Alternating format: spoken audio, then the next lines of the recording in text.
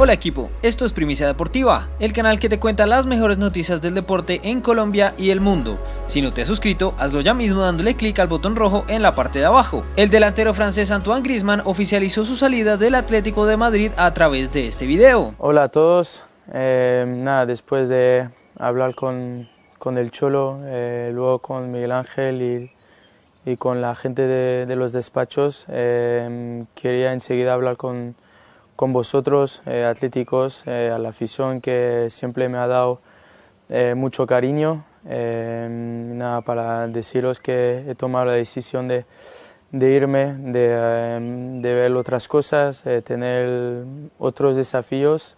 la verdad que me ha costado ¿no? coger ese camino, pero es lo que siento, es lo que necesito y quería agradeceros por todo el cariño que me, que me habéis dado durante esos cinco años, eh, donde he ganado mis, mis primeras copas, mis primeros trofeos eh, importantes eh, con un club y la verdad que ha sido, ha sido momentos increíbles que siempre recordaré.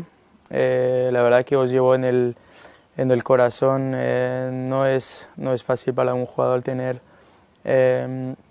tanto cariño y, por eso quería deciros eh, hoy y, que seáis los, los siguientes después del, del, entrenador y del club en saber. Eh, muchas gracias por todo. Eh, otra vez os llevo en el corazón y, nada, muchas gracias por, por, todo, que han sido cinco años de verdad increíbles, donde he disfrutado mucho, lo he dejado todo en el, en el campo, he intentado eh, ser eh, un chico bueno eh, con, las, con las fotos o los autógrafos que me habéis pedido. He, intentado dar muchas alegrías a la gente que venía en el Wanda Metropolitano o, los aficionados que, que, vienen, que son muchos en, en, los partidos fuera de casa.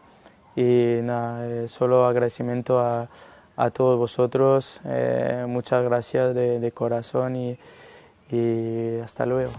Este sábado Griezmann disputará su último partido con la camiseta del Atleti frente al Valencia.